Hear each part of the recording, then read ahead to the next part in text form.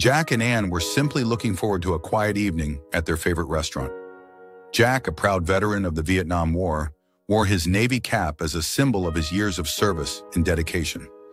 He and his wife were there to celebrate a special occasion, an anniversary of sorts. It was a night meant for love and peace. But as they settled in, something unexpected and unpleasant happened. Before we dive into today's story, make sure to subscribe to the channel, like the video, and definitely smash the notification button for more thrilling stories. And Jack and Anne decided to celebrate their night at their favorite restaurant, but fate had other plans for them. The couple had just settled at their table, ready to enjoy their meal and share some quality time together, when a noise interrupted their conversation.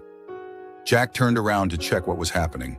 He saw four young men bursting through the entrance, their loud chatter and boisterous laughter drawing the attention of everyone in the restaurant.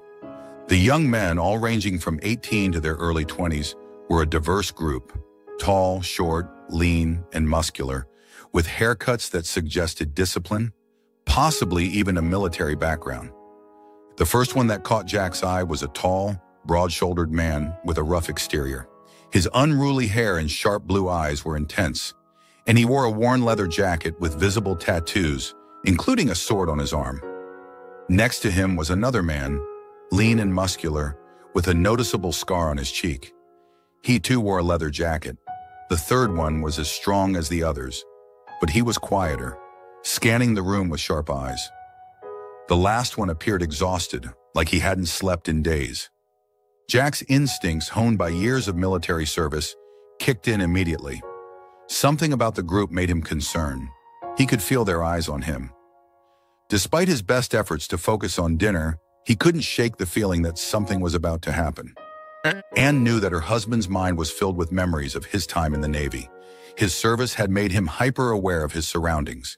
She sensed his thoughts and whispered to him, Jack, they're just boys trying to ease his mind. Jack, with his sharp personality and military training, had learned to always be aware of his surroundings and spot potential threats before they could escalate. Now he had a gut feeling that these young men were planning something. Something risky. He refused to let his guard down. As the minutes ticked by, the young men's behavior grew increasingly disruptive. Their laughter echoed through the restaurant, their gestures exaggerated and noisy. Jack's patience was wearing thin. What was supposed to be a peaceful evening was turning into a situation where Jack was preparing for a confrontation. He had faced far greater dangers in his life, and he wasn't about to back down now. As if the young men had read his mind, the tallest of them, the one with the sword tattoo, stood up and walked directly toward Jack and Anne's table. Jack's heart pounded. He prepared to defend himself and his wife. Anne sensed his tension and urgently whispered for him to calm down. She knew her husband, though in his 70s, could still unleash fury if someone made the mistake of provoking him. The young man's determined gaze only intensified Jack's resolve. He stood to meet the boy's stare, ready for whatever might come next. To his surprise, the young man reached the table, extended his hand, and said, Sir, I just wanted to pay my respect and thank you for your service. For a moment, Jack was stunned. This was not what he expected. The sincerity in the young man's eyes was undeniable. Jack shook the boy's hand, feeling his body relax. The young man explained that he and his friends had noticed Jack's Navy cap and wanted to express their gratitude for his service and sacrifices. As the young man returned to his table, Jack sat down, still trying to process what had just happened. Anne smiled, squeezing his hand, and confirmed what she had sensed all along, that the boys meant no harm. But the eventful evening wasn't over yet. As Jack and Anne were about to leave, they asked for the bill. The waiter handed Jack a receipt with a note from the young men.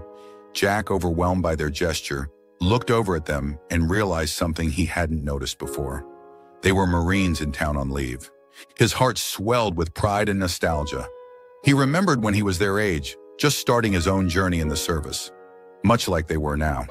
With a sense of pride, Jack walked over to thank them. The young Marines stood and greeted Jack with respect, introducing themselves one by one. They invited him and Anne to join them for a drink, and the couple agreed. The old veteran and the young Marines shared stories of duty, discipline, and the challenges of military life. Jack listened to them, offered advice, and shared his experiences. For Jack, this was more than just a dinner. It was a profound moment of connection, a reminder of his own service and responsibilities to his country. As Jack and Anne were preparing to leave, something beautiful happened. The Marines, in a final gesture of respect, lined up in front of Jack. Each one shook his hand and gave him a salute. The restaurant, once filled with noise, fell silent. The other diners watched in awe and respect. The room erupted in applause as Jack, deeply moved, thanked the young men for an unforgettable evening. What do you think about the Marines' behavior? How did you feel about Jack's reaction? We would love to hear your thoughts on today's story. For more stories like this, don't forget to subscribe to the Nice Time channel.